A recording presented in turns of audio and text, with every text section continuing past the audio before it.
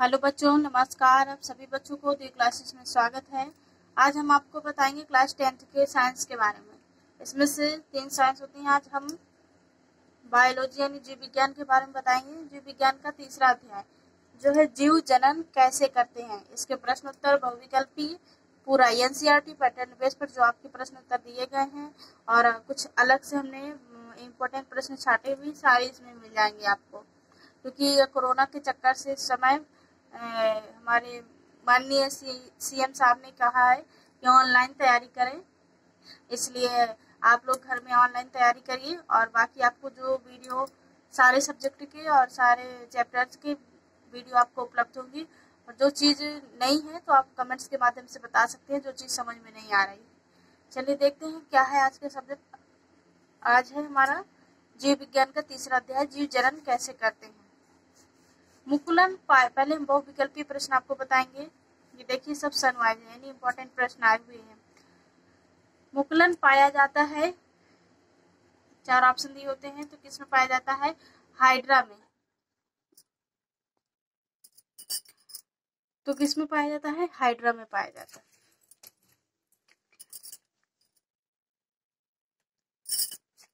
अगला प्रश्न है, पुरुष में लिंग गुण सूत्र होता है। पुरुष में जो लिंग गुण सूत्र पाया जाता है, वह कौन सा होता है? एक्स वाई कौन सा होता है? एक्स वाई यानी पहला नंबर सही है। अगला प्रश्न है, निम्न में से कौन मानव के मानव के मादा जनन तंत्र का भाग नहीं है?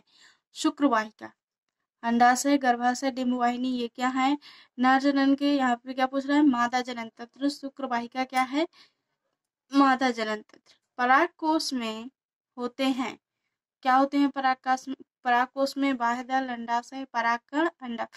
परागकोश से सीधा सीधा आ रहा है परागकण। अब हम आपको दो अंक वाले यानी अति लघु उत्तरीय प्रश्न के बारे में कुछ बताएँगे। यदि अभी तक आपने चैनल सब्सक्राइब नहीं किया तो कर दीजिए और लाइक करिए और ज़्यादा से ज़्यादा अपने दोस्तों को शेयर करिए ताकि इस मौसम में इस तरह के कोरोना फैले हुए चक्कर से बच्चों की पढ़ाई नहीं हो पाती है तो ऑनलाइन तैयारी वो अपनी कर सकें।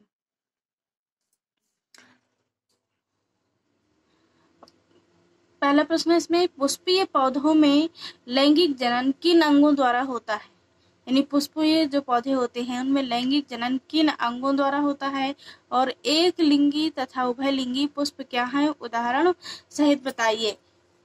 तो पुष्पीय पौधों के नर जननांग क्या है? पुंकेसर और मादा जननांग है के अंडप। पुष्पीय पौधों में जो नर नर जननांग का भाग होता है, पुकेसर और मादा जननांग का भाग होता है अंडप। एक लिंगी पुष्प में नर अथवा मादा जननांग होते हैं, जैसे कि खीरा और लौकी, और उभय लिंगी पुष्प में नर तथा मादा दोनों प्रकार के जननांग पाए जाते हैं। उभय लिंगी, यानी उभय का मतलब ज़्यादा, उभय लिंगी का मतलब दोनों पाए जाते हैं, जैसे सरसों और मटर।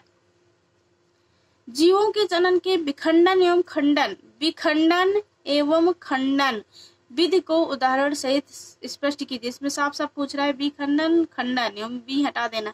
विखंडन क्या देखेंगे?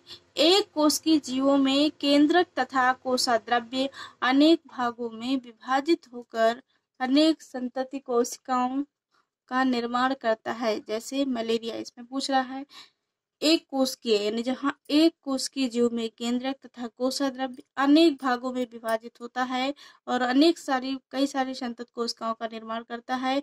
वह क्या होता है? विखंडन, जैसे मलेरिया। और परजीवी में शैवालों के तंतु अनेक भागों में टूटकर संतति पादप बनाते हैं। और खंडन का क्या मतलब है? कोशिका सूत्री विभाजन द्वारा। ये किसके द्वारा विभाजित होता है? कोशिका सूत्री विभाजन द्वारा विभाजित होकर दो संतत जीवों का निर्माण करता है। उसमें बहुत सारी संतत जीवों का निर्माण करता है। जैसे कि यहाँ पे हेमीबा है, वहाँ पे मलेरिया।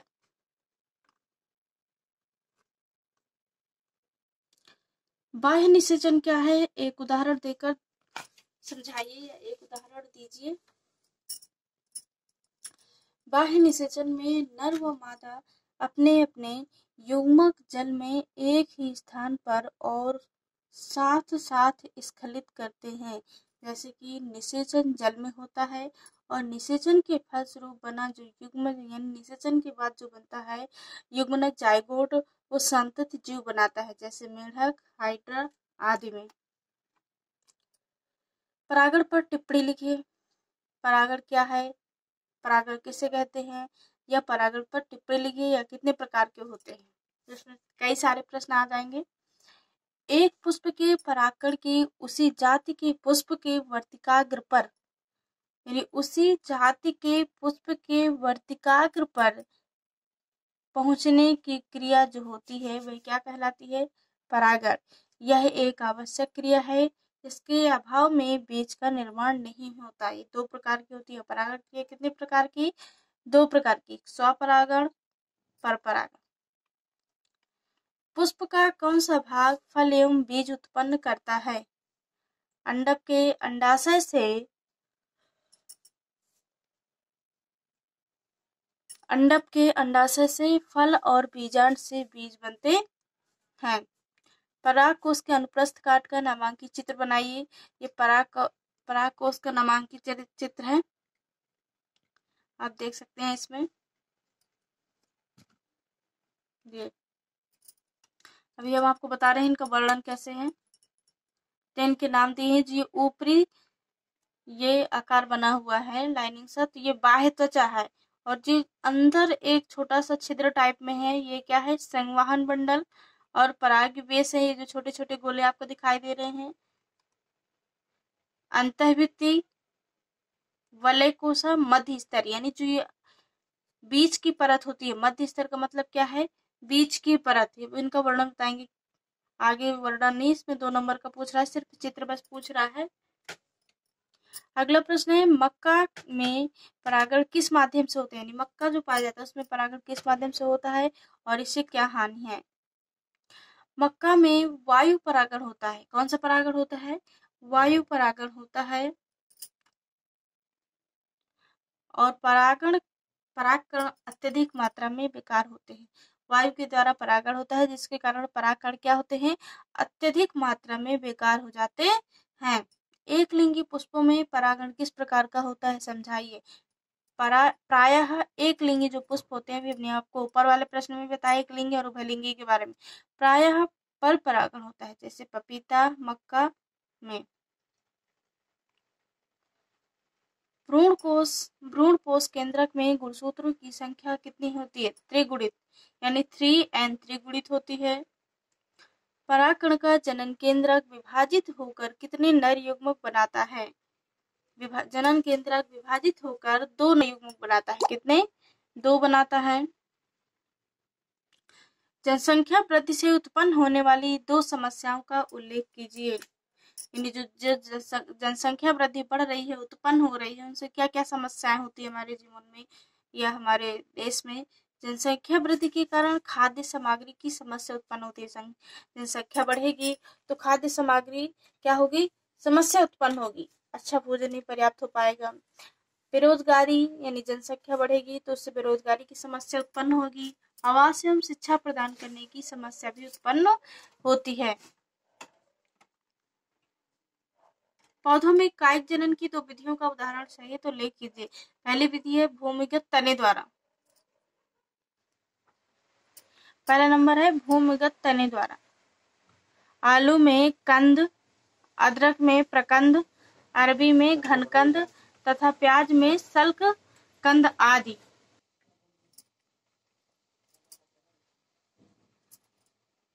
दूसरा नंबर है पर्णकलिकाओं द्वारा। ब्रायोफिल्म में पर्णकलिका द्वारा। अगला है, अगर प्लेनेरिया अथवा हाइड्रा को कई टुकड़ों में काट दे तो इसका क्या परिणाम होगा? इस क्रिया का वर्णन कीजिए। यानी इस क्रिया क्या होती है? पुनरुद्भवन इसे कहते हैं रिजनरेशन पुनरुद्भवन पुनः उत्पादन।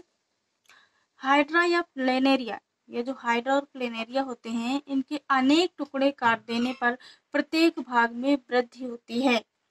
यानी जैसे कि हाइड्रा के हम तीन भाग कर देंगे। एक हाइड्रा है, उसको हमने तीन टुकड़ों में काट दिया। अगर उसको हम तीन टुकड़े में काट देंगे तो उसके प्रत्येक भाग में एक हाइड्रा का निर्माण हो जाएगा। यानी एक हाइड्रा से कितने हाइड्रा के? तीन। इसी प्रकार से प्लेनेरिया का भी निर्माण कर लेते हैं। इस प्रक्रिया को क्या कहते हैं? पुनरुद्भवन, यानी पुनः उत्पादन हो जाता है।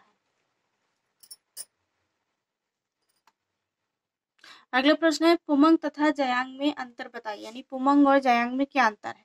पुमंग पुष्प का नर जननांग है, इसके पराग कोष में लघु बीजाणु या पराग कण बनते हैं। पुमंग के तीन भाग होते हैं। कितने भाग होते हैं? तीन। परंतु पराकोष यानी पराकोष पुतंतु तथा योजियुत, जयांग पुष्प का मादा जननांग है। क्या है? मादा जननांग। इसके अंडाशय में बीजांड पाए जाते हैं। बीजांड के भ्रूणकोश में अंड बनता है और जायांग के तीन भाग होते हैं। कौन कौन से? अंडाशय, वर्तिका और वर्तिकार एआईडीएस का पूरा नाम उपार्जित प्रतिरक्षा न्यूनतम सिड्रोम। एड्स का नाम पूछ रहा है जैसे तो ये हिंदी में इस प्रकार से भी आप लिख सकते हैं एकोर्ड इम्यूनो डिफ्रेंसी सिड्रोम अगला प्रश्न है, अलैंगिक जनन के कोई दो प्रकार के नाम बताइए। अलैंगिक जनन एसेक्सुअल रिप्रोडक्शन में एक जीवधारी संतति उत्पन्न करता है। जो एक जीवधारी है, संतति उत्पन्न करता है, यह सरल संरचना वाले प्राणियों द्वारा पादपों में होती हैं। इसके निम्नलिखित प्रकार हैं। द्विखंडन, मुकलन बीजाणु जनन और पुनरुद्भवन। मानव प्रेषण द्वारा स्रावित हार्मोन्स का नाम लिखिए। एंड्रोजन हार्मोन्स है। युग्मक संलयन क्या है? प्राणियों में नर युग्मक, शुक्राणु तथा मादा युग्मक अन्न के परस्पर मिलने से क्या बनता है? युग्मक संलयन कहते हैं।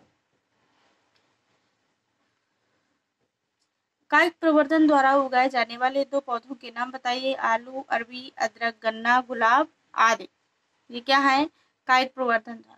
एक भुट्टे के शंकु से निकलने वाली चमकीली लंबी वर्तिकाओं को यदि प्रारंभ में ही काट दिया जाए तो शंकु में दाने नहीं होते स्पष्ट कीजिए। यानी क्यों नहीं होते शंकु में दाने स्पष्ट करना है? भुट्टे का जो शंकु वास्तव में मादा पुष्पों का समूह है। क्या है मादा पुष्पों का समूह? स्पैंडिक्स है, जो हरे रंग के स्पेथों से घिरा रहता है। इसमें वायु परागण होता है और शंकु की लंबी वर्तिकाओं को प्रारंभ में ही काट देने से परागण नहीं होता।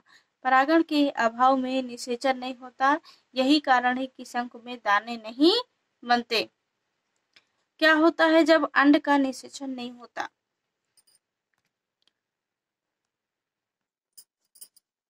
अंड का निषेचन न होने की स्थिति में गर्भाशय की मांसल एवं स्पंजी अंतःभित्ति धीरे धीरे नष्ट हो जाती है और क्षतिग्रस्त ऊतक रक्त एवं श्लेष में मार्ग से निष्कासित हो जाता है, जिसे क्या कहते हैं?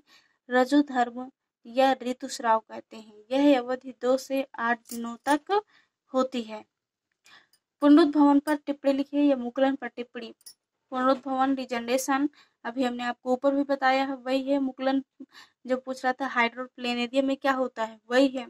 पुनरुद्भवन में जीव को दो या दो से अधिक, यानी कई भागों में काटने पर प्रत्येक भाग क्षतिग्रस्त होने का भाग भी दोबारा पुनः निर्माण कर लेता है, जैसे हाइड्रा और प्लेनेरिया। अगला है मुकुलन हेडिंग। अनुकूल परिस्थितियों में भी कोशिकाएँ विभाजित एवं विभेदित होकर, विभाजित, विभेदित का मतलब होता है विभाजित ही, विभेदित होकर मुकुल बनाती है मुकुल बनाती हैं मुकुल पृथक होकर यानी अलग होकर एक नए जीव बनाती हैं, जैसे कि ईस्ट स्पंज हाइड्रा आदि में ये होता है। द्विनिषेचन तथा त्रिक संलयन किसे कहते हैं? द्विनिषेचन यानी डबल फर्टिलाइजेशन सभी पुष्प युक्त पौधों में दो बार निषेचन क्रिया होती है। एक नर युग्मक तथा अंकोश का मिलकर युग्मज यानी जायगोट बनाता है।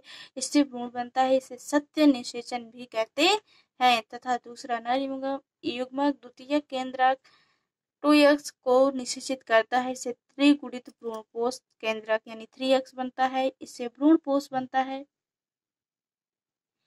इसी प्रकार से आवृत बीजी पौधों में दोहरा निषेचन तथा त्रिक संलयन होता है। सात नंबर वाला प्रश्न है। फूलों वाले पौधों में निषेचन क्रिया का सचित्र वर्णन कीजिए तो निषेचन त्रिक्सलन समझाइए, और ये इस प्रकार से अथवा कई, दो तीन प्रश्न दिए हुए हैं, पूछ सकता है। जैसे कि 2019 भी एनसेट में आया हुआ भी था।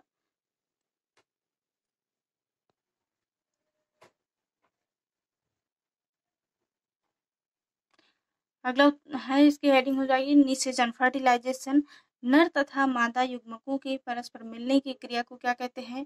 फर्टिलाइजेशन कहते हैं और पुष्पी पात्रों में यह क्रिया बीजांड में स्थित प्रोण कोष की अंड कोशिका तथा नर युग्मक के मिलने से होती हैं। फर्टिलाइजेशन की क्रिया, जैसे कि पुष्प में बताया गया है, इसी प्रकार से ये है पुष्प का चित्र।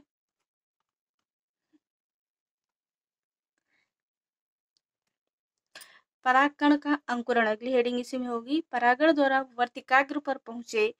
परागकण वर्तिकाग्र द्वारा उत्पन्न मौलिक अम्ल युक्त मीठे पदार्थ को अवशोषित करते हैं, जिससे क्या अवशोषित करके क्या बनाते हैं? फूल बनाते हैं।